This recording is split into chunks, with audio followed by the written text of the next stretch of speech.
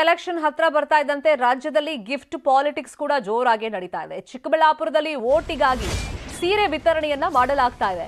ಚಿಕ್ಕಬಳ್ಳಾಪುರ ತಾಲೂಕಿನ ಗೆಂಟೆಗಾನಹಳ್ಳಿಯಲ್ಲಿ ವಿತರಣೆ ನಡೀತಾ ಇದೆ. ಉಚಿತ ಸೀರೆಗಾಗಿ ಮಹಿಳೆಯರು ಮುಗಿಬಿದ್ದಿದ್ದಾರೆ ಬಿಜೆಪಿ ಮುಖಂಡ ಹಾಗೆಯೇ ರಿಯಲ್ ಎಸ್ಟೇಟ್ ಉದ್ಯಮಿ ಶಿವಕುಮಾರ್ ಅವರು ಸೀರೆ ವಿತರಣೆ ಮಾಡ್ತಾ ಇದ್ದಾರೆ. ಭರ್ಜರಿ ಬಾಡೂಟ ಕೂಡ ಆಯೋಜನೆ ಮಾಡಿ ಅರ್ಶನ ಕುಂಕುಮದ ಹೆಸರಲ್ಲಿ ಸೀರೆ ವಿತರಣೆಯನ್ನು ನಡೆಸ್ತಾ ಇದ್ದಾರೆ.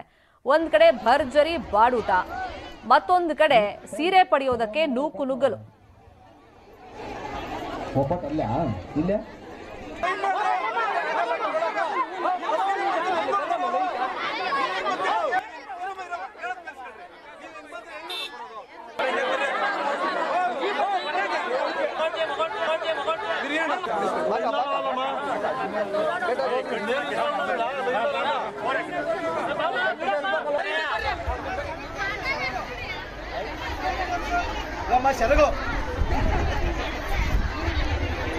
ನೋಡಮ್ಮ, ಹಿಂಗಂದ್ರೆ ಗಾಳಿ ಬರ್ತದೆ.